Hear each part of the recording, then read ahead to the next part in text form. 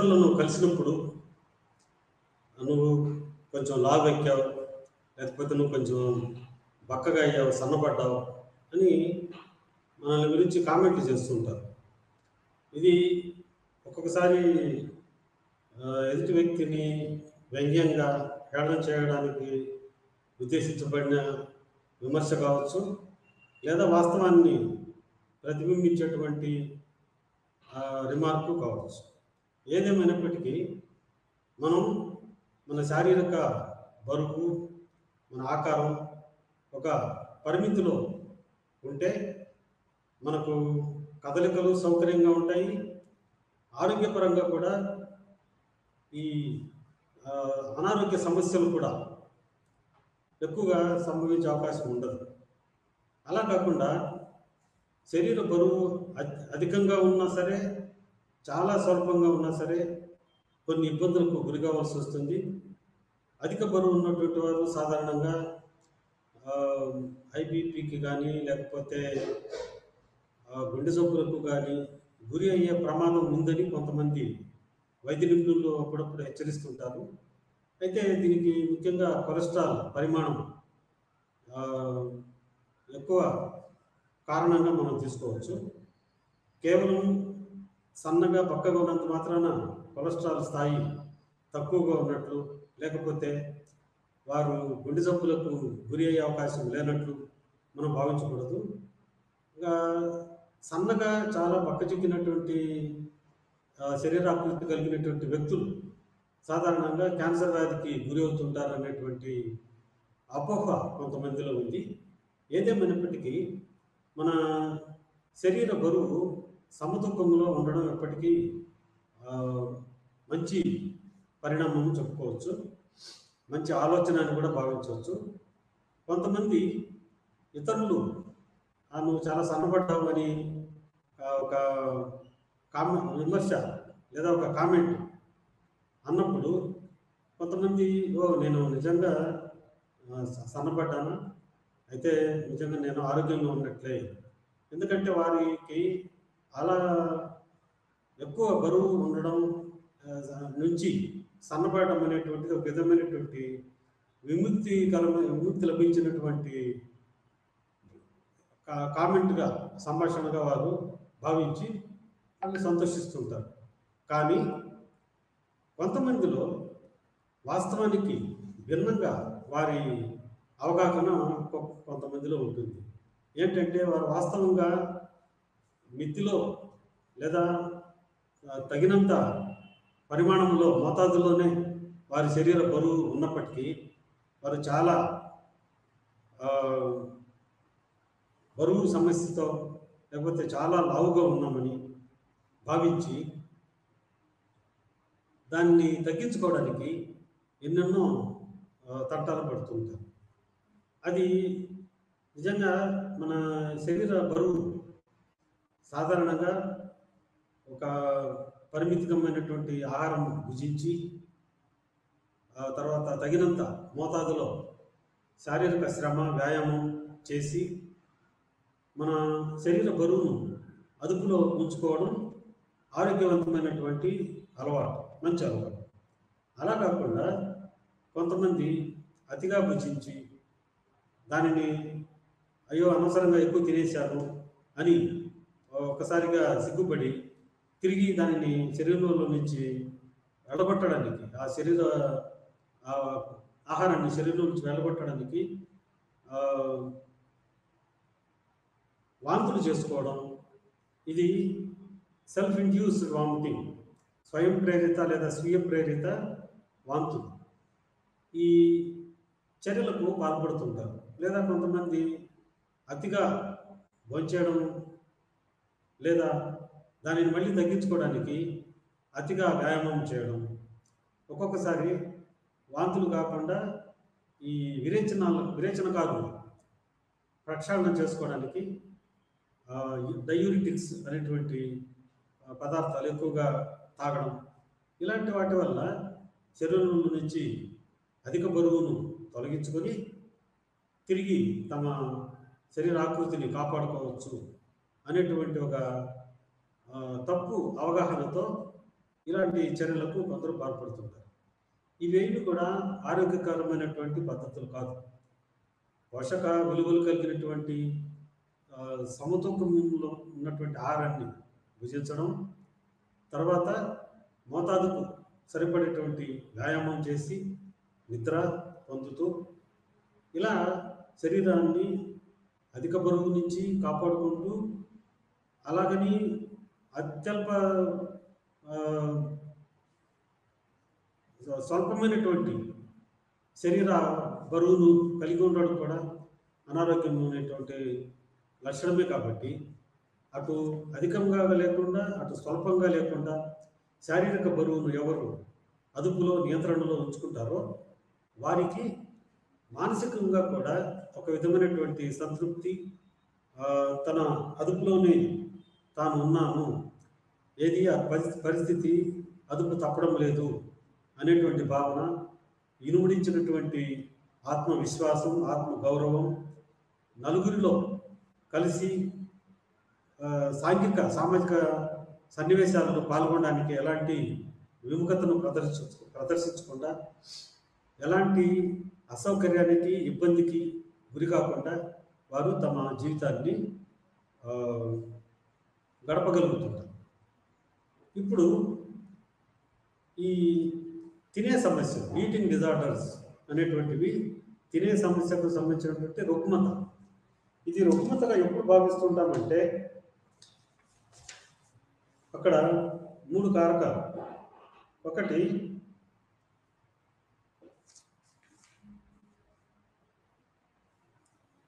శరీర ఆకృతి పట్ల సరైనటువంటి సంతృప్తి లేకపోవడం. నేను చాలా లావుగా ఉన్నాను.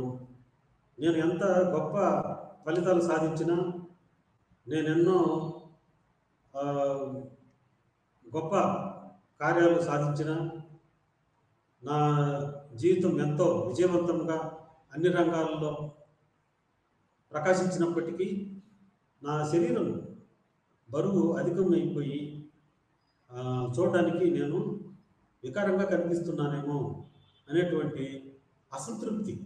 ఇది మొదటి కారణం. తినే సమస్యలకు దారి తీసేటువంటి మొదటి కారణం ఇది. తర్వాత రెండవది బరువుకు సంబంధించినటువంటి అధికమైనటువంటి ఏకాగ్రత లేకపోతే దాని మీద దృష్టి ఉంచుకోవడం. మూడవది తాను తిన్న భుజ భుజించినటువంటి ఆహారాన్ని సరిగా జీర్ణం చేసుకోకపోవడము లేకపోతే సరైన మోతాదులో వ్యాయామం చేయకపోవడం వలనో లేకపోతే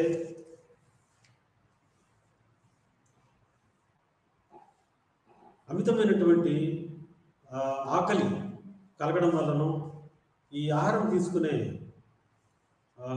పరిమాణంలో అదుపు లేకపోవడం ఇవి కొన్ని కారణాలుగా చెప్పుకోవచ్చు. మొదటిది తన అతిగా భుజించడము. ఇందులో ఇందాక చెప్పుకున్నటువంటి శరీర బరువుకు సంబంధించినటువంటి ఆలోచనలు ఎక్కువగా పదే పదే మనసును తుడిచివేయడం మొదటి కారణమైతే రెండవది తన శరీరం పట్ల అసంతృప్తి. ఇది రెండవ కారణం.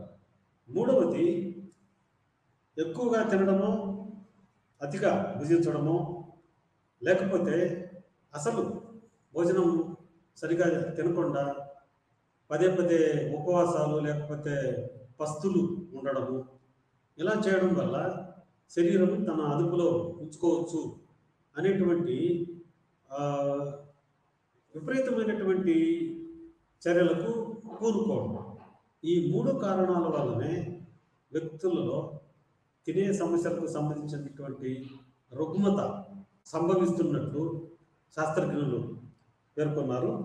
ఇందులో మూడు రకాలైనటువంటి తినే సమస్యలను రుగ్మతలను శాస్త్రజ్ఞులు పేర్కొన్నారు. మొదటిది అనరిక్సియా నెర్వోసా. ఇది ఆకలి మందగించడం. అనరిక్సియా నెర్వస్ అనేటువంటి ఒక విధమైనటువంటి తిండి రుగ్మత తినే సమస్యను ఆకలి వాస్తవానికి వీరికి కొంతమందిలో ఆకలి మందగించినట్టు అనిపిస్తుంది కానీ మరికొంతమందిలో ఆకలి అయినప్పటికీ తింటే ఎక్కువ శరీరం బరువు ఎక్కిపోతుంది లావు అయిపోతాను అనేటువంటి కంగారుతో ఆ ఆకలిని అలాగే నొక్కిపట్టి చాలా స్వల్పంగా భుజించడం లేకపోతే ఒక్కొక్కసారి అసలు భోజనమే పూర్తిగా మానేయడం ఒక్కొక్క పూట రెండు పూటలు అలా మానేయడం. ఇది విపరీతమైనటువంటి స్వభావం. ఈ దీనివల్ల ఒక్కొక్కసారి వీళ్ళ వీరి శరీర బరువు శరీర బరువు చాలా ప్రమాదకరమైనటువంటి స్థాయికి మించి కిందికి పడిపోతుంది. అంటే ఉండవలసినటువంటి పరి ప్రమాణానికి చాలా తక్కువ స్థాయిలో వీరి శరీర బరువు ఉంటుంది. వీళ్ళు ఆహారం తీసుకోవడం చాలా వరకు తగ్గించడం. ఒక్కవేళ ఎప్పుడైనా భుజించినా ఒక్కొక్కసారి రెండు మూడు రెండు మూడు పూటలు ఒక్కొక్క సందర్భంలో ఒక రోజంతా ఉపవాసం ఉండి ఏదో చిన్న మజ్జిగ నిమ్మరసం ఇలాంటివి తాగి ఆ రోజంతా అలా ఉండడము. ఇలా చేస్తూ ఉంటారు. ఇది చాలా ప్రమాదకరమైనటువంటిది. ఒక్కొక్కసారి మీరు అలాంటి అలవాట్లకు గురి గురి అయినందువల్ల చివరి చివరకు కృంగి కృషించి నశించి ఒక్కొక్కసారి మరణం మీదికి తెచ్చుకునేటువంటి దుస్థితికి కూడా మీరు పాల్పడతారు. అందువల్లనే ఇది ఒక రుగ్మతగా చెప్పుకోవచ్చు. రెండవది బులిమియా నర్వోసా. ఇది అధికంగా తినడం. అధికంగా తిన్న తర్వాత దాంట్లో తిరిగి ఈ తక్కువ సమయంలో ఎక్కువ ఆహారాన్ని అమితంగా కడుపు కూడా భరించినటువంటి ఇబ్బందికరమైనటువంటి వరకు కడుపు నిండి అలా తినడం ఆపగా తినడం. తిన్న తర్వాత దీన్ని బింజ్ ఈటింగ్ అంటాం. ఆపగా తినడం లేకపోతే అమితంగా తినడం. తిన్న తర్వాత ఈ తిన్న ఆహారాన్ని తిరిగి శరీరం నుంచి బయటికి కృత్రిమంగా కృత్రిమైన పద్ధతుల ద్వారా శరీరంలో నుంచి బయటికి పంపడం. ఇది వాంతులు చేసుకోవడం కావచ్చు అంటే ఇది స్వయం ప్రేరిత వాంతులు. నోట్లో వేడి పెట్టి దాన్ని బయటికి లాగేయడం ఇది స్వయం ప్రేరిత కొన్ని సందర్భాల్లో ఆ, విరేచనకు సంబంధించినటువంటి వేది మందులు అనుకుంటాం వాటిని తీసుకోవడం పర్జెక్టివ్స్ అంటారు వీటిని. రిలాక్సేటివ్స్ కూడా అలాగే తీసుకోవడం. శరీరం నుండి ప్రక్షాళన చేయడం. కొంతమంది ఎక్కువ శారీరక శ్రమను అంటే వ్యాయామం వ్యాయామం చేయడం. ఎందుకంటే అధికంగా భుజించాను దీన్ని ఏదో విధంగా దానిని నష్టపరిహారం లేదా నష్టపూర్వకం ఇచ్చినట్లుగా దాని పరిహారంగా తిరిగి అధిక శ్రమ వ్యాయామంతో ఆ శరీరంలో నుంచి బరువును ఆహారాన్ని వెళ్ళగొట్టాలి అనేటువంటి ఒక కృత్రిమైనటువంటి ప్రయత్నం. అది బులిమియా నర్వోసా అనేటువంటి జబ్బు. మూడవది బింజ్ ఈటింగ్ డిజార్డర్. ఇది అమితంగా తినే సమ అపవ్యవస్థ. ఈ అమితంగా బింజ్ ఈటింగ్ డిజార్డర్లో తర్వాత దాన్ని తిరిగి శరీరంలో నుంచి అధికమైనటువంటి ఆహారాన్ని బయటికి పంపే ప్రయత్నం ఏమి ఉండదు. ఈ బులిమియా నర్వోసాలు మాత్రమే ఒకవైపు గబగబాగా తినేయడం. అందులో మీరు తినే ఆహారం కూడా ఎక్కువగా పోషక విలువలు లేని ఆహారం నిల్వ ఉంచిన ఆహారం జంక్ ఫుడ్ అనుకుంటాం. ఎక్కువ ఆ, వేపుళ్ళు తర్వాత ఊరగాయలు పచ్చళ్ళు ఎక్కువ స్పైసీ ఫుడ్స్ ఇలాంటివి మితంగా తీసుకుంటే బహుశా కొంతవరకు అనారోగ్యం బాల బారిన పడదు అమితమైనటువంటి ఈ జంక్ ఫుడ్ తీసుకోవడం వల్ల వీరికి ఆ ఇబ్బంది ఏర్పడుతుంది. అది బులిమియా నర్వోసా బింజ్ ఈటింగ్లో తినడం వరకే తిని ఆపేయడమే. తర్వాత దానిని తిరిగి మళ్ళీ బయటికి పంపించాలి. ఈ అమితాహారాన్ని బయటికి శరీరం నుంచి బయటికి పంపించాలనేటువంటి ప్రయత్నాలు ఏమి చేయదు ఇవి మూడు రకాలైనటువంటి తినే సమస్యలుగా శాస్త్రజ్ఞులు గుర్తించారు. ఈ ఎక్కువగా బులిమియా నర్వసాలు తిరిగి రెండు రకాలుగా విభజించారు ఇక్కడ ఉన్నటువంటి టేబుల్ కనుక మనం చూసినట్లయితే ఫ్లో డయాగ్రామ్ను చూసినట్లయితే తిని తినే సమస్యలను మూడు విధాలుగా వర్గీకరించారు.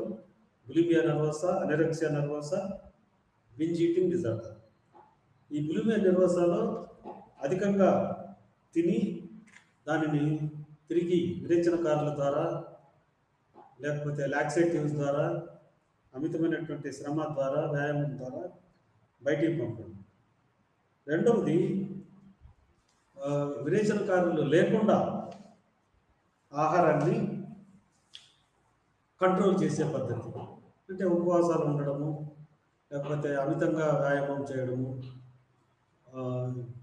ఎక్కువ డయూరిటిక్స్ ఎక్కువ తాగిన తిన్న ఫుడ్ నుంచి ఎక్కువగా ఈ మలమూత్ర రూపంలో బయటికి వెళ్ళిపోతుంది. ఇది బులిమియాలో రకాలు.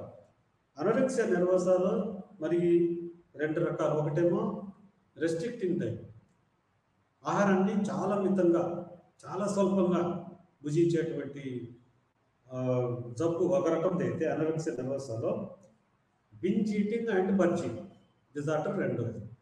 ఇది కూడా అనరెక్సియా నర్వస్లోనిదే తర్వాత బింజ్ ఈటింగ్లో పూర్తిగా పోషక విలువలు లేనటువంటి ఆహారాన్ని అధిక అధిక మోతాదులో తక్కువ సమయంలో ఇతరులు ఎవరు ఆ వయసుకు తగినటువంటి వ్యక్తులు ఇతరులు ఎవరు అంత ఆహారాన్ని భుజించలేరు. కానీ మీరు మాత్రం ఆపగా గబగబా తింటారు. ఎక్కువగా జంక్ ఫుడ్ని మీరు కోరుకోవడం అలా మితిమీరి ఆపగా తినేటువంటి జబ్బు మూడవ రకం. అయితే బులిమే నర్వసాను నిర్దేశించడానికి బులిమే నర్వసాను నిర్దేశించడానికి ఒక డిఎస్ఎం ఐదు DSM diagnostic and statistical manual ఐదు కొన్ని సూత్రాలను ప్రతిపాదించింది.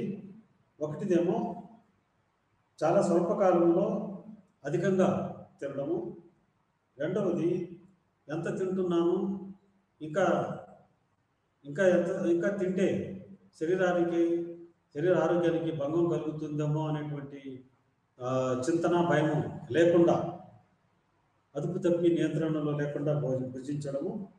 రెండవది ఆ, మూడవది సెల్ఫ్ ఇండ్యూస్డ్ వామిటింగ్ స్వయం ప్రేరితంగా వాంతి చేసుకోవడము. ఈ విరేచనకారులు ప్రక్షాళనకారులను ఒక్కొక్కసారి మందులు కూడా ఆకలిని తగ్గించే మందులు లేకపోతే ఉన్నటువంటి భోజనాన్ని బయటికి పంపించేటువంటి మెడిసిన్స్. ఫాస్టింగ్ చేయడం ఉపవాసాలు ఉండడం లేదా అధిక వ్యాయామానికి తరచూ చేయాలి ఇది బులిమియా నిర్వసనం గుర్తించడానికి ఉపయోగించినటువంటి మరో సూత్రం. తర్వాత ఇలాంటి ప్రవర్తన వారానికి కనీసం ఒక్కసారి ఒక మూడు నెలలు కనుక ఒక వ్యక్తిలో మనం గమనించినట్టయితే ఆ వ్యక్తి ఈ బులిమియా నర్వసాతో బాధపడుతున్నట్టుగా మనం గుర్తించవచ్చు. అంటే వారానికి ఒక్కసారి కనీసం వారానికి ఒకసారి ఇలా చేస్తూ అలా మూడు నెలల కాలంలో వారానికి ఒకసారి చేస్తుంటే దాన్ని బులిమియా నర్వసాగా మనం గుర్తించవచ్చు. తర్వాత శరీర ఆకృతి శరీర పరిమాణము గురించి అధికంగా చింతిస్తూ ఉంటారు. తినడం తర్వాత తిరిగి అయ్యో నా శరీరం అదుపు తప్పి లావైపోతున్నానే బరువు విపరీతంగా పెరిగిపోతున్నానే అనేటువంటి చింతన వీరిలో అధికంగా ఉంటుంది. తర్వాత బింజ్ అండ్ పర్చ్ సైకిల్ తినడము వెళ్ళగొట్టడం. ఇది ఒక వృత్తాకారమైనటువంటి వలయాకారంలో ఇక్కడ చిత్రీకరించబడింది. మొదట బింజ్ తీసుకుంటే అధిక అధిక ఆహారం తినడము తర్వాత శరీరము ఒక విధమైనటువంటి నంబునెస్కి గురి కావడము. అంటే ఇక ఏమాత్రము భరించలేనటువంటి ఏమాత్రం స్వీకరించలేనటువంటి స్థితి పూర్తి సాచురేషన్ లెవెల్ అలా అయిపోయిన తర్వాత పర్జి విరేచన కార్యాలు వాడడం రే రిడెంప్షన్ తిరిగి దాన్ని ఆ స్థానాన్ని భర్తీ చేయడం కోసం మళ్ళీ తినడం లేకపోతే తిన్న తర్వాత దానిని అదుపులో ఉంచడం డైట్ను కంట్రోల్ చేయడం. మరి అలా కంట్రోల్ చేసి ఉపవాసం బస్తులు ఉండడం వల్ల తిరిగి ఆకలి ఎక్కువ అవుతుంది. ఈ ఆకలితో పాటు అయ్యో నాకు ఆకలి అయిపోతుంది నేను తింటే మళ్ళీ లావైపోతానేమో అనేటువంటి యాంగ్జైటీ వ్యాకులత దానితో పాటు ముడివడి ఉంటుంది. అప్పుడు తినకపోతే మరి ఏమవుతుంది అనేటువంటి భయం ప్రవేశించి మళ్ళీ తినడము తర్వాత గిల్టీ పశ్చాత్తాపం.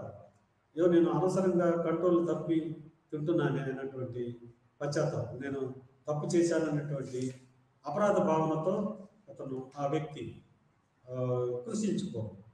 ఇలా ఇది ఒక వలయాకారంలో చిత్రీకరించబడింది. సో చెప్పు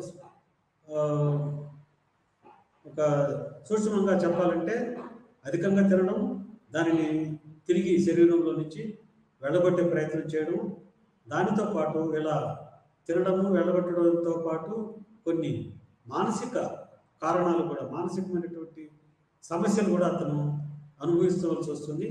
ఒకటినేమో వ్యాకులత రెండవది తన పట్ల తనకు ఒక విధమైనటువంటి సెల్ఫ్ డిప్రిషియేషన్ తన గురించి ఆత్మ వంచన ఒక తను తనకు తన పట్ల తనకు అదుపు తప్పింది.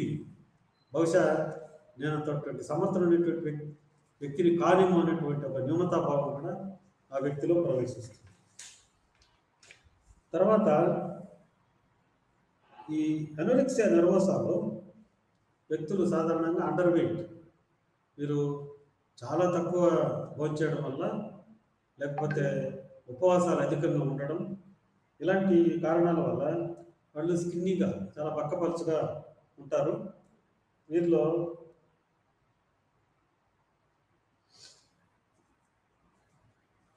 ఒక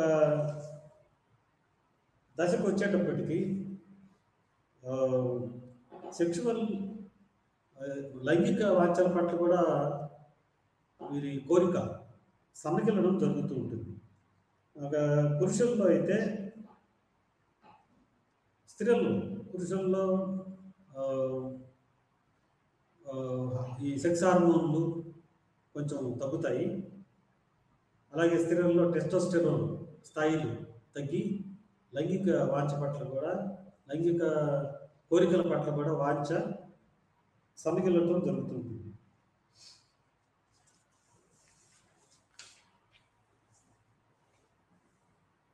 ఈ అనరెక్సియా నర్వసంతో పాటు సహసంబంధమైనటువంటి వ్యాధులు కోమార్బిడిటీ గురించి చెప్పాలంటే అమినోరియా లేకపోతే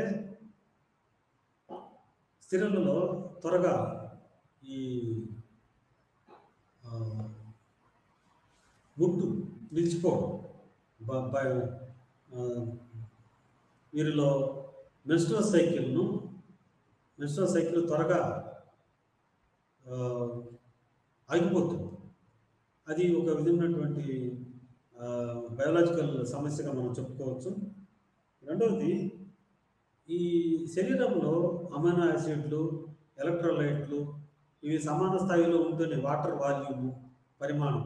ఇవన్నీ సమాన స్థాయిలోనే ఉంటేనే ఈ హోమోస్టాసిస్ ఏర్పడుతుంది. అలా కాకుండా అవసరానికి తగిన తగినంత మోతాదుకు తగినంతగా శరీరంలో ద్రవాలు కానీ అమైనో యాసిడ్లు కానీ ఇతర పోషకాలు కానీ లోపించినట్లయితే శరీరము శుష్కించిపోతుంది. అలా ఒక విధంగా చెప్పాలంటే గుండె సమస్యలు కూడా ఇందులో ఉత్పన్నమయ్యే అవకాశం ఉంది. తర్వాత కిడ్నీ సమస్యలు కూడా మూత్రపిండాలు కూడా దెబ్బతినే అవకాశం ఉంది. అదొక దుష్పరిణామంగా చెప్పుకోవచ్చు. ఈ బులిమియాతో వ్యాకులత తర్వాత మూడ్ డిజార్డర్స్ చిత్తవృత్తికి సంబంధించినటువంటి సమస్యలు మానసిక సమస్యలు అపవ్యవస్థలు కూడా ముడిపడి ఉన్నటువంటి ప్రమాదం ఉంది. ఈ అబ్సెసివ్ కంపల్సివ్ డిజార్డర్ కూడా ఎక్కువగా పదే పదే నేను శరీరం అధిక బరువులో ఉందేమో అధిక బరువును పొందుతుందేమో నేను అమితంగా లాభైపోతున్నాము అనేటువంటి ఈ చింతన పదే పదే పునరావృతం కావడం వల్ల వీరిలో దీనితో ఈ అనరెక్సియా నర్వస్తో పాటు ఈ అబ్సెసివ్ కంపల్సివ్ డిజార్డర్ కూడా కలిసి సంభవించే అవకాశ ప్రమాదం ఉంది. అంటే ఈ అబ్సెసివ్ కంపల్సివ్ డిజార్ డిజార్డర్తో పాటు ఈ అనరిక్స నర్వోస కూడా కలిసి వచ్చే అవకాశం ఉంది. ఇక ఈ బులిమియా నర్వస కానీ అనరెక్సియా నర్వస కానీ ఎలా ఎలాంటి వ్యాప్తి ఉంది ప్రపంచవ్యాప్తంగా? ఎంతమంది జనాభా ఈ వ్యాధుల నుంచి ఈ వ్యాధి బారిన పడుతున్నారు అనేటువంటి గణాంకాలను కనుక మనం పరిశీలించినట్టయితే బులిమియా నర్వసాతో దాదాపు ఒకటి లేదా మూడు శాతం జనాభాలో మూడు శాతంకి మించకుండా ఈ జబ్బుతో బాధపడుతున్నారు బులిమియాతో అనలెక్సియా నర్వసాతో కేవలం జీరో పాయింట్ ఫైవ్ పర్సెంట్ అంటే రెండు వందల మందిలో ఒక వ్యక్తి ఈ అనలెక్సియా నర్వసాతో బాధపడినట్టుగా గణాంకాలు చెప్తున్నాయి. తర్వాత ఎక్కువగా పద్దెనిమిది నుండి ఇరవై ఒక్క సంవత్సరాల వయస్సు కలిగిన వ్యక్తుల్లో ఇవి మొదలయ్యే అవకాశం ఉంది ఆరంభమయ్యే అవకాశం ఉంది. పురుషులతో పోల్చుకుంటే స్త్రీలలోనే ఈ సమస్యలు కొంచెం ఎక్కువగా ఉన్నట్టు భావించారు. పురుషులలో ఈ జబ్బు బారిన పడే వయస్సు కొంచెం నిదానంగా కావచ్చు ఆన్సెట్ అనేది కొంచెం నిదానంగా రావచ్చు అన్నటువంటి గణాంకం మనకు వివరాల ద్వారా తెలుస్తుంది. ఈ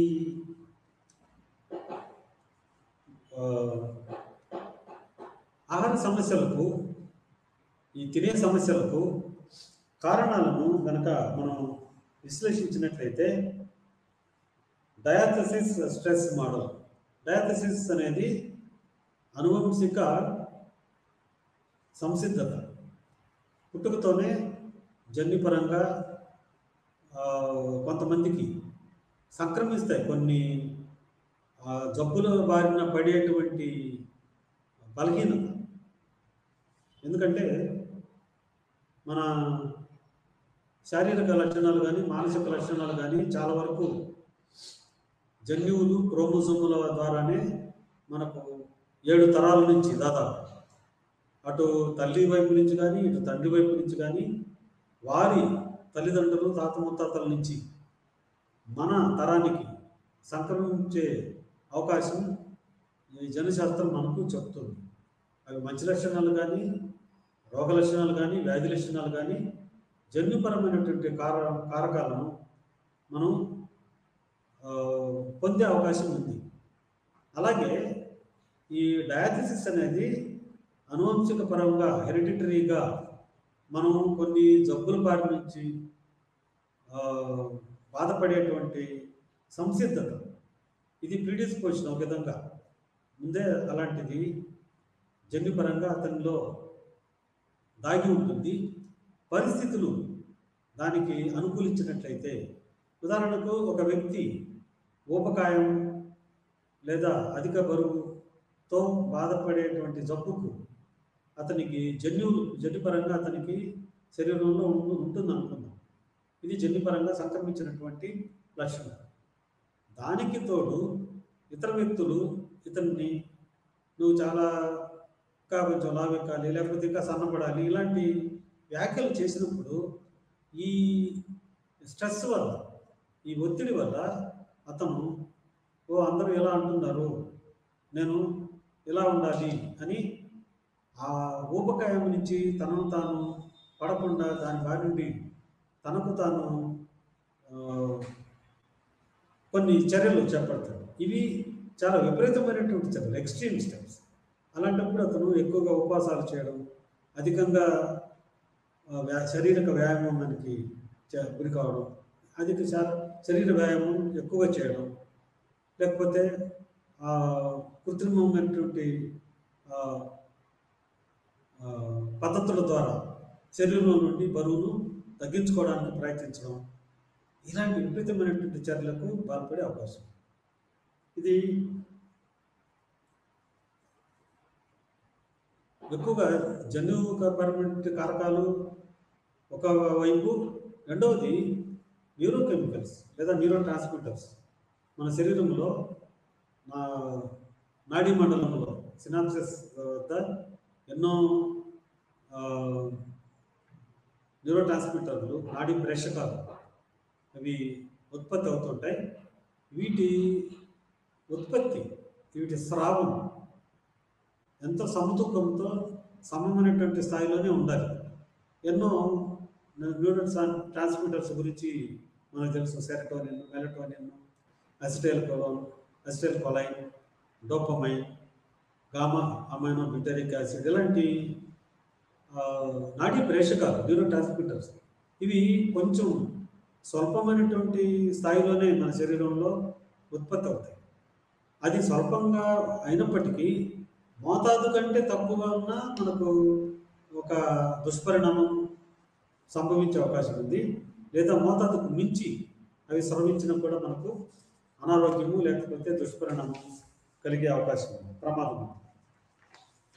తర్వాత జన్యుపరమైనటువంటి పాత్రను నిర్దేశించడానికి కవలలపైన తర్వాత కుటుంబ సభ్యులపైన జరిపినటువంటి పరిశోధనల మూలంగా మనకు ఏం తెలుస్తుందంటే అధిక బరువు లేకపోతే చాలా స్వల్పమైనటువంటి శరీరాకృతి కలిగినటువంటి వ్యక్తులు ఒక కుటుంబంలో ఉన్నట్టు ఉన్నట్లయితే లేదా సమీప బంధువుల్లో అలాంటి వ్యక్తులు ఉన్నట్లయితే తర్వాత వారికి సంబంధించినటువంటి వ్యక్తులలో కూడా ఈ సమస్య సంక్రమించే అవకాశాలు కూడా ఎక్కువగానే ఉన్నాయి.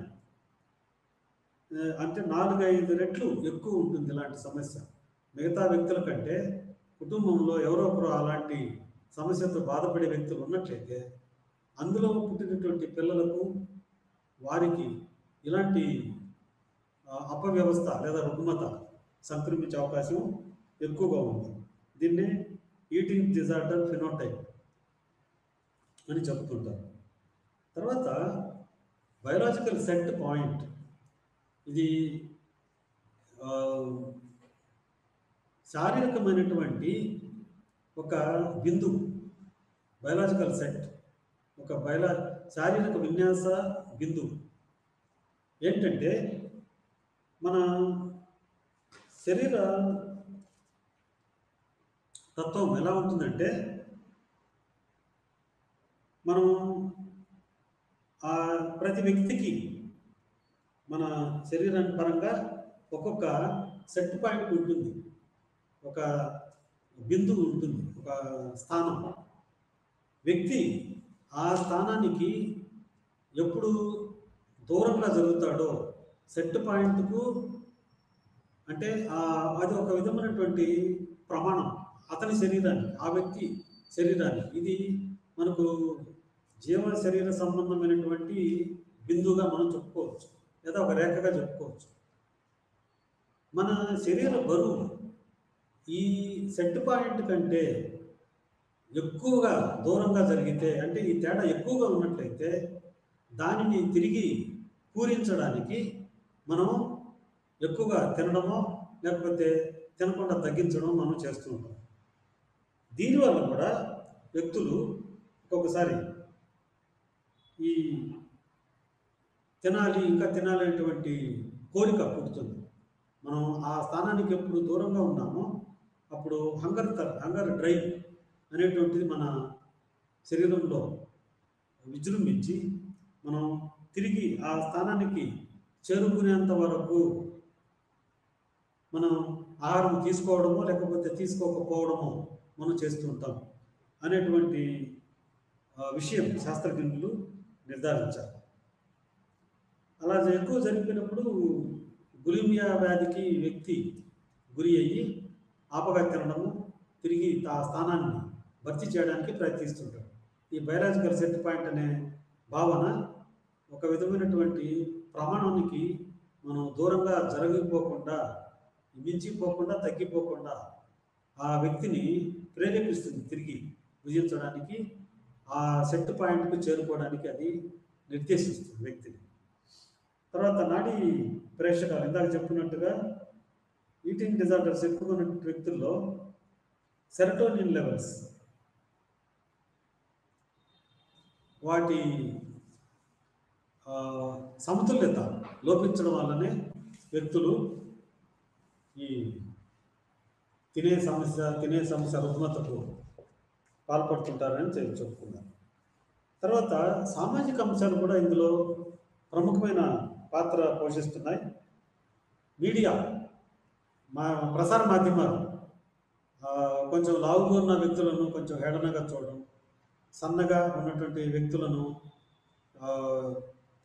వారు త- మంచి శరీరాకృతి ఉన్నట్లుగా వారిని పొగడడం వారిని మెచ్చుకోవడం అభినందించడం ఇలాంటి చేస్తుంటారు కాబట్టి కొంతమంది ఉపవాసాలు లేకపోతే ఎక్కువ శ్రమ వ్యాయామము ఇలాంటివి చేయడం ద్వారా మనం వారిలాగే ఫలానా హీరో లాగానో లేకపోతే ఫలానా క్రికెటర్ లాగానో ఫలానా ఫుట్బాల్ ప్లేయర్ లాగానో నేను కూడా అలాగే సన్నగా నాజుకుగా ఉండాలి అనేటువంటి భావాన్ని వ్యక్తులలో కలిగిస్తుంది ప్రసార మాధ్యమాలు. సినిమాలు కావచ్చు నవలలు కావచ్చు సీరియల్ కావచ్చు. తర్వాత శరీరంలో ఈ కుటుంబంలో కొన్ని సమస్యలు. తల్లిదండ్రులు తరచుగా ఘర్షణకు తర్వాత విపరీతమైనటువంటి తల్లిదండ్రులు ఎడముఖం పెడముఖం ఉండడం అలా ఉన్నటువంటి కుటుంబంలో ఫ్యామిలీ డిస్కార్డు తర్వాత అతిగా పిల్లలను ఈ పేరెంటల్ స్టైల్ ఓవర్ ప్రొటెక్టివ్నెస్. పిల్లలను ప్రతి చిన్న సమస్య నుంచి వారు పరిరక్షించేటువంటి స్వభావాన్ని చూపుతుంటారు తల్లిదండ్రులు. అలాంటి వ్యక్తుల్లో కూడా ఈ తినే సమస్య రుగ్మతలు ఎక్కువగా ఉన్నట్లు చెప్తుంది. తర్వాత ఇంట్లో కుటుంబ సభ్యులు నా నాజూకుగా సన్నంగా ఉంటేనే బాగుంటుంది అనేటువంటి ఒక భావన పదే పదే ఈ పిల్లలు పిల్లల పట్ల అలాంటి భావాన్ని వ్యక్తం చేస్తుంటే పిల్లల్లో అది బలీయంగా నాటుకొని తల్లిదండ్రులు చెప్తున్నారు కాబట్టి మన మేలు కోసమే ఉంటుంది. కాబట్టి నేను అతిగా లావెక్కకూడదు లేదా లావుగా ఉండడం మంచిది కాదు అస్సలు అని డైటింగ్ ప్రారంభించి చాలా స్వల్పంగా తినడం తిండి మానేయడం అలాంటి చర్యలకు వారు పాల్పడుతుంటారు. ఇవి సోషియో కల్చరల్ ఫ్యాక్టర్స్గా చెప్పుకోవచ్చు. తర్వాత సైకలాజికల్ ఫ్యాక్టర్ మానసికమైనటువంటి కారణాల్లో చెప్పుకోవాల్సింది ఈ స్వల్పంగా ఉంటే సన్నగా ఉంటేనే శరీరానికి ఆరోగ్యానికి మంచిది అనేటువంటి భావన పూర్తిగా అంతర్లీనమైపోవడం శరీరంలో శరీరంలో కాదు మనస్సులో. సో మనసులో నేను ఎప్పుడు సన్నగానే ఉండాలి సన్నగానే ఉండాలి అనే భావన పదే పదే తను పునరావృతం చేసుకోవడం వల్ల ఈ అనరెక్సియా నిర్వస్థ ఇలాంటి తిన్- తినే సమస్యకు రుగ్మతలకు పాల్పడే అవకాశం ఉంది. తర్వాత బాడీ డిస్ డిసాటిస్ఫాక్షన్ శారీరక బరువు పట్ల అసంతృప్తి నేను లావుగా ఉన్నానేమో నేను లావుగా ఉంటే వికారంగా కనిపిస్తానేమో నన్ను ఎవరు ఇది బాలికలలో అయితే అబ్బాయిలు నన్ను ప్రేమించలేము నాకు పెళ్ళి కావడం కష్టమేమో నేను లావుగా ఉంటే అనుకోవడం అలాగే అమ్మాయిలలో కూడా ఇలాంటి భావనలు శరీరం పట్ల అసంతృప్తికి గురి చేస్తుంటాయి. తర్వాత సెల్ఫ్ స్టార్టెడ్ డైటింగ్స్ ఇందులో ఎక్కువగా ఒక నిపుణుని నిపుణుడు ఆరోగ్య లేకపోతే పోషకాహార నిపుణుల సలహాతో కొన్ని పదార్థాలను వారి శరీరానికి అలర్జీ లేకపోతే వారికి పడనివి వారి ఆరోగ్యానికి పడని వస్తువులను వారు తినకుండా పోవడం ఇలాంటివి చేస్తే ఒక న్యూట్రిషనిస్టు అంటే పోషకాహార నిపుణుని ఆధ్వర్యంలో కనుక వారు ఇలాంటి డైటింగ్ చేసినట్టయితే అంత ప్రమాదకరం ఉండదు. కానీ స్వయంగా స్వీయ నిర్ణయం వల్లనే స్వీయ నియంత్రణలోనే వారు చాలా స్వల్పమైనటువంటి ఆహారాన్ని తీసుకోవడం అలా ఉపవాసం చేయడం వల్ల ఒక మానసిక రుగ్మత ఏర్పడుతుంది. తర్వాత నెగటివ్ ఎఫెక్ట్ ఇది ప్రతికూల ఉద్వేగం వ్యతిరేక ఉద్వేగాలు. ఈ నేను నేను బలు నేను చాలా లావుగా ఉన్నాను. నేను ఎందుకు పనికిరాని వాడిని? నేను ఏది సాధించలేను? అని ఇలాంటి సెల్ఫ్ అవాల్యుయేషన్ స్వీయ అంచనాలను తాము తాము మదింపు వేసుకొని ఏదైనా చిన్న చిన్న అపజయాలు ఎదురైతే అది కేవలం తాను అధిక బరువు ఉన్నందుకే ఇలా అయింది అనేటువంటి అపోహకు వారు గురి కావు. అది ఇలాంటి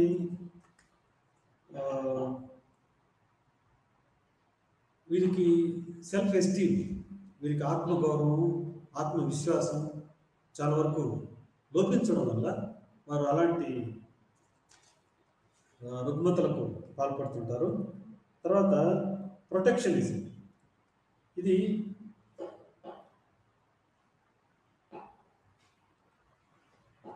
పర్ఫెక్ట్ బాడీ అంటే పరిపూర్ణమైనటువంటి శరీరము ఎలాంటి లోపాలు లేకుండా ఖచ్చితమైనటువంటి ఉత్తమమైనటువంటి శరీరం తనకు ఉండాలి అన్నటువంటి పర్ఫెక్షనిజం సారీ ప్రొటెక్షనిజం కాదు అది. పర్ఫెక్షనిజం ఈ భావన అన్నింటిలోనూ నేను అత్యుత్తమంగా ఉండాలి ఖచ్చితంగా ఉండాలి అనేటువంటి ఒక ప్రమాణాన్ని తాను నిర్దేశించుకొని దానిని ఒక గమ్యంగా నిర్దేశించుకొని అలా పర్ఫెక్ట్ బాడీని సాధించాలనేటువంటి ప్రయత్నంలో వారు తినవలసిన సమయంలో పోషక విలువలకు తిలోదకాలు ఇచ్చి భోజనం సకాలంలో తినకుండా ఇలా తమను తాము కృషింప చేసుకొని వ్యాధిగ్రస్తులయ్యేటువంటి ప్రమాదం. ఇది పర్ఫెక్షనిజం కూడా మంచిది కాదు. ఇంకా దీనికి చికిత్సా పద్ధతులు. చికిత్సా పద్ధతులుగా చెప్పుకోవాలంటే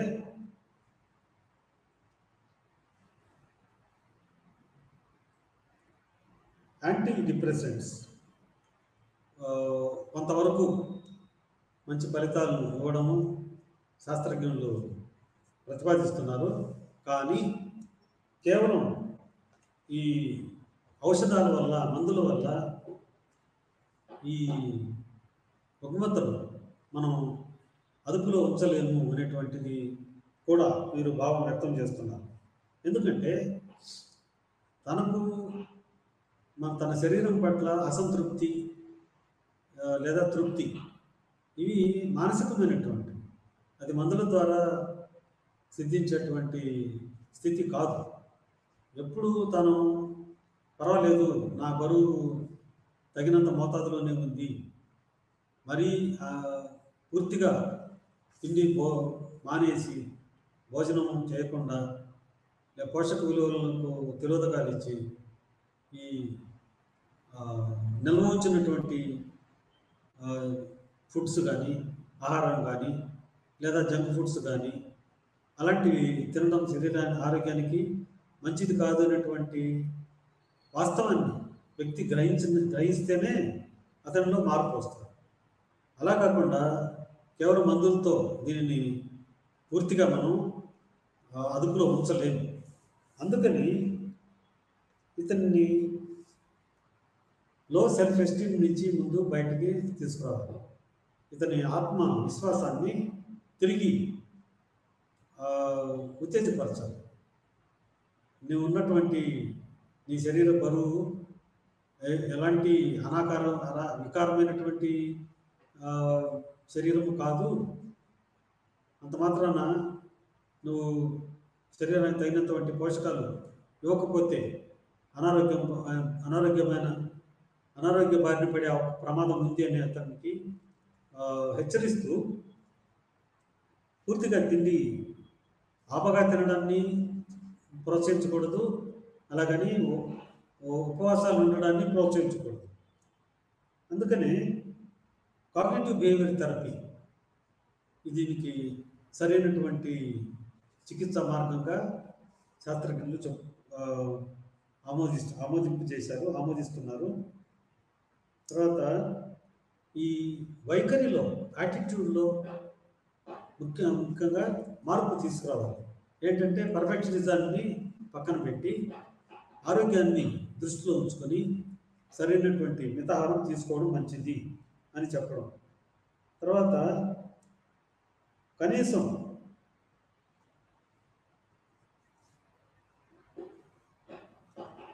ఒకేసారి లేకపోతే రోజుకు రెండు సార్లు మూడు సార్లు ఎక్కువ పరిమాణంలో భుజించడం మానేసి స్వల్ప పరిణామం స్వల్ప పరిణ పరిమాణంలో ఇదే దాన్ని మనం అప్పుడప్పుడు చెప్తుంటారు.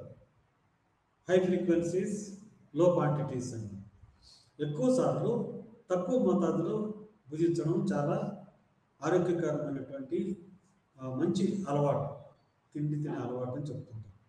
రోజుకు ఒకటి లేదా రెండు సార్లు భుజించడం మంచి పద్ధతి కాదు.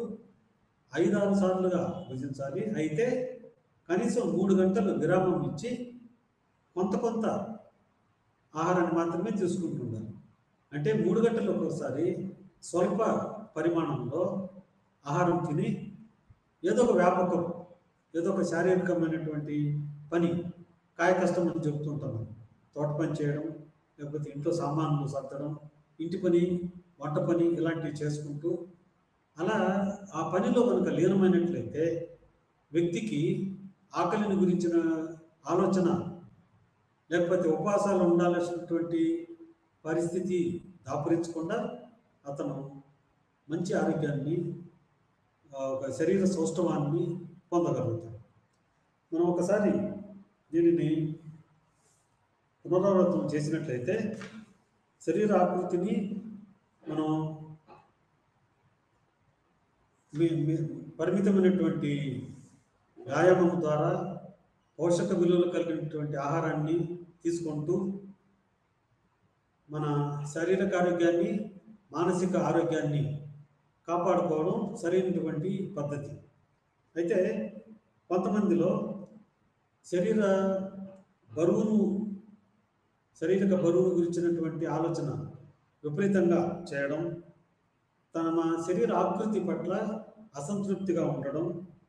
మూడవది అధికంగా తినడము లేకపోతే చాలా స్వల్పంగా తిని లేదా ఉపవాసాలు పస్తులు ఉండడం.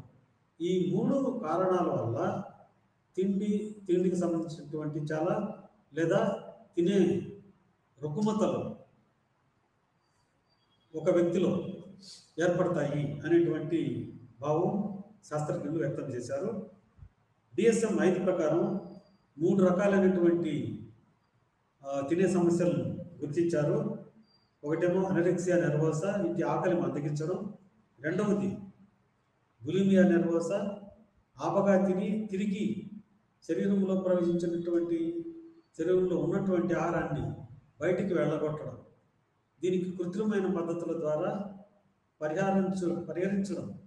ఏంటంటే ఆ, విరేచనకారులు వాడడం అంటే భేది మందులు తీసుకోవడం తర్వాత అమితమైనటువంటి వ్యాయామాన్ని వ్యాయామాన్ని వ్యాయామానికి శరీరాన్ని గురి చేయడం ఉపవాసాలు ఉండడం పస్తులు ఉండడం కొన్ని మెడిసిన్స్ మందులు ఔషధాలు తీసుకొని ఆకలిని తగ్గించుకోవడం ఇవన్నీ కృత్రిమైనటువంటి చర్యలు. ఇవి బులిమియా నెర్వసాలో వచ్చేటువంటి అలవాటు.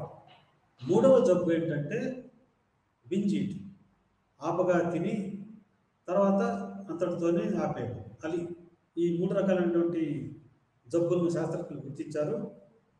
బులిమియాలో ఇందాక చెప్పుకున్నట్టుగా జంక్ ఫుడ్స్ ఆహారాన్ని తక్కువ వ్యవధిలో ఎక్కువగా ఆ శరీర ఆ వయస్కులు ఎవరు అంతటి శరీరం అంతటి పరిమాణంలో ఫుడ్ తినలేరు. కానీ వీరు ఆపగా తినడం ఒక్కొక్కసారి వ్యాకులతకు ఎక్కువ గురైనటువంటి వ్యక్తులు కూడా దానిని తినే అలవాటులో మిళితం చేసి అధికంగా ఆహారాన్ని గ్రహించడం జరుగుతుంది. వ్యాకులత కూడా ఒక విధమైనటువంటి కారణంగానే చెప్పుకోవచ్చు. తర్వాత బింజ్ పర్చి సైకిల్ ఈ ఆపగా తినడము వెంటనే వెళ్ళగొట్టడము దానిని శరీరంలో నుంచి ఈ వృత్తకరమైనటువంటి చర్య మొదట డైటింగ్తోనే స్టార్ట్ అవుతుంది. పూర్తిగా ఆహారం తీసుకోకుండా మానేయడం. ఆ తర్వాత వెంటనే తినడం. తినాలనేటువంటి కోరిక కలుగుతుంది. అలాగే అనరిక్ష నిర్వాసాలు కూడా స్టార్వింగ్ చేయడం ఉపవాసాలు ఉండడం తర్వాత ఇది సన్నగా కనిపించాలి నాజుకుగా కనిపించాలనేటువంటి ఒక వాంఛతో ఒక కోరికతో అలా చేయడం అలా జరుగుతుంది. ఈ దీంతో పాటు నెగిటివ్ ఎమోషన్స్ కూడా దాంతోపాటు కలిసి వస్తుంటాయి. ఈ స్ట్రెస్ యాంగ్జైటీ తీవ్రమైనటువంటి ఒత్తిడి వ్యాకులత ఇవి కూడా దాంతోపాటు కలిసి సంభవిస్తాయి కాబట్టి ఈ బింజ్ ఎపిసోడ్లో మరి తిరిగి తినడం వల్ల ఆ యాంగ్జైటీ అది తత్కాలంగా ఉపశమనం చెందుతుంది. తిరిగి గిల్ట్ ఫీలింగ్ స్టార్ట్ అవుతుంది అయ్యో నేను అతిగా తినేశాను. నా శరీర ఆకృతి పరిధిని దాటిపోతుంది మించిపోతుంది అని చెప్పి మళ్ళీ అందులో నుంచి శరీరం నుంచి ఆహారాన్ని బయటకు పంపే ప్రయత్నాలు చేయాలి అనరక్ష నిర్వసాల్లో వ్యక్తులకు ఆకలి ఉంటుంది. ఇది ఆకలి మాంద్యం అని మనం లేబుల్ చేసినప్పటికీ వ్యక్తిలో ఆకలి ఉంటుంది. కానీ దాన్ని బలవంతంగా అణచివేసి శరీరాన్ని సన్నగా ఉంచుకోవడం కోసం తపన పడి ఉపవాసము ఇలా ఉండి కావలసినటువంటి నిష్పత్తిలో ఆహారాన్ని తీసుకోకుండా అదుపులో ఉంచుకోవడం వల్ల వారు సన్నగా బక్కగా కనిపించాలనే ప్రయత్నంతో అలా ఆ రుగ్మతకు పాల్పడతారు. ఈ డయాథిసిస్ స్ట్రెస్ సిద్ధాంతం ప్రకారము అంటే అనువంశ సంసి సంసిద్ధత సంసిద్ధత ఇక ఒత్తిడి. ఈ రెండిట్లో ఏది ఎక్కువ ఇలాంటి తినే సమస్యలకు కారణమవుతుంది అనే విషయంలో ఈ సిద్ధాంతం ప్రకారం కొన్ని జన్యుపరమైనటువంటి కారకాలు ఆ వ్యక్తిలో సంసిద్ధత అతన్ని ఆయత్తపరిస్తే ఈ పరిసరాత్మకమైనటువంటి కారణాలు ఇవి సామాజికమైనటువంటి కారణాలు తర్వాత మానసికపరమైనటువంటి కారణాలు కలిసి ఈ వ్యక్తిలో ఈ రుగ్మతకు దారితీస్తున్నాయి దీనిని నివారించడానికి లేదా ఉపశమనం కలిగించడానికి తీసుకోవాల్సినటువంటి చికిత్స అవలంబించాల్సినటువంటి చికిత్సా పద్ధతులను విశ్లేషించినట్లయితే వ్యక్తికి ముందు తన పట్ల ఆత్మవిశ్వాసం ఆత్మ గౌరవం ఆత్మస్థైర్యం అతనిలో నింపే ప్రయత్నం చేయడానికి బిహేవియరల్ కాగ్నిటివ్ థెరపీ.